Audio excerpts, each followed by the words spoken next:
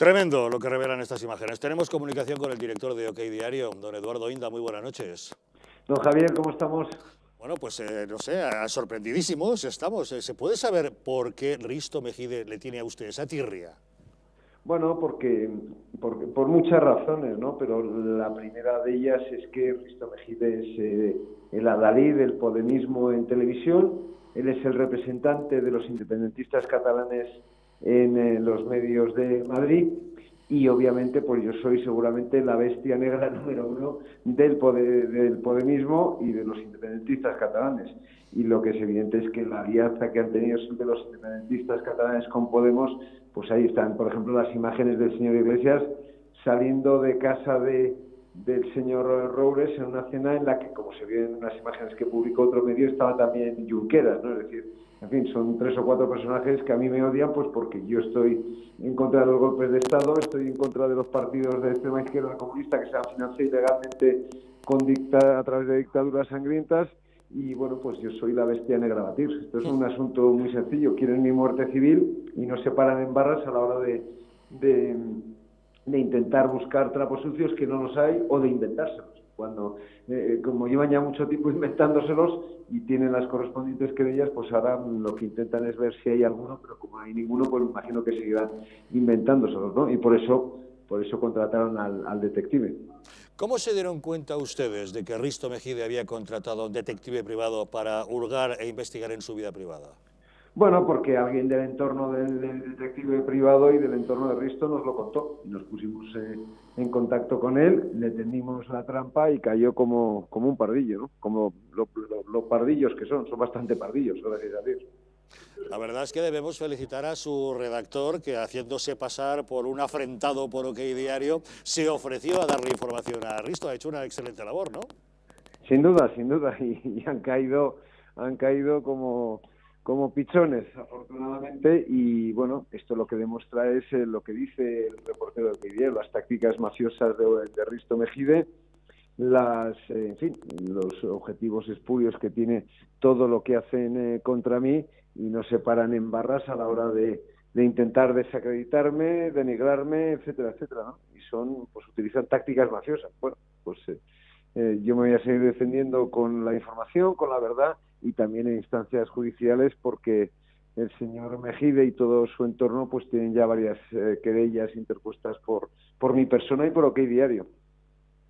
Yo no he visto hoy el programa de Risto Mejide, le confieso es que no suelo verlo, pero me han dicho que Mejide hoy justamente ha aprovechado su programa para arremeter contra usted y decir que todo esto es un montaje de OK Diario y cosas por el sí, estilo. Claro, pues, entonces que se querellen contra el detective contra mí, porque lo que es evidente es que el detective dice lo que dice. ¿Es, ¿Es, lícito que en España una persona contrate a un detective para seguir los pasos de otra persona con la que teóricamente no tiene ninguna cuita legal que deba dirimir? Pues se tiene que haber un interés legítimo y en este caso no lo habría y eso obviamente lo vamos a poner en, en conocimiento de nuestros abogados, solo faltaba. Tiene que haber interés legítimo. Ya me dirá usted qué interés legítimo tiene el señor Mejide en, investigado a mí. No es la primera vez que ocurre, ya da la impresión de que el programa de Risto Mejide debe tener éxito en la cadena en la que se emite, si es que tiene algún éxito, gracias a que el protagonista es habitualmente usted, ¿no? Sí, sí, sí, sí. Es una cosa alucinante. Bueno, hay que agradecerle que me hace cada vez más famoso. Me ha convertido pues, en uno de los periodistas más famosos de este país, en el más famoso.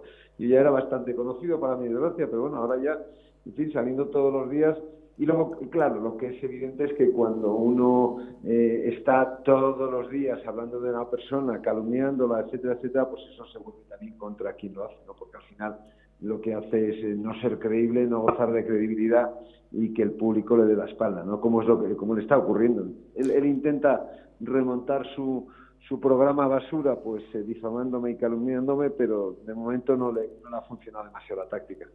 Como usted ha dicho, ya ha tomado eh, acciones legales, tanto personalmente como por parte del periódico. ¿Qué recorrido judicial puede tener esto? ¿Qué tipo de querellas se puede presentar contra el señor Mejide?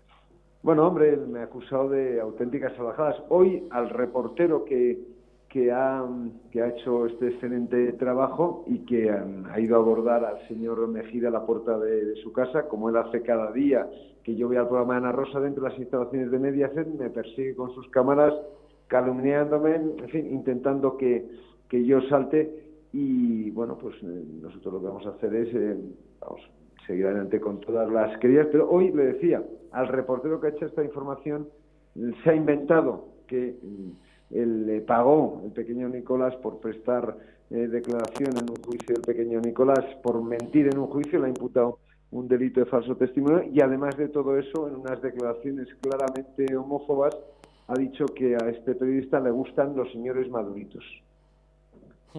Vaya, pues... O sea, no se puede ser más repugnante, más homófobo, más eh, lamentable que estos señores y eso va a ser objeto de otra querella, como es natural. Ya me imagino. Don Eduardo Inda, ya sabe que nos encanta charlar con usted, generalmente lo hacemos para comentar las magníficas exclusivas que dan todos los días en OK Diario. Es una pena que tengamos que llamarle justamente porque alguien arremete contra usted de esta manera, pero como usted dice, le está haciendo más famoso que la Moños, ¿eh? Sí, sí, sí, sin duda, sin duda.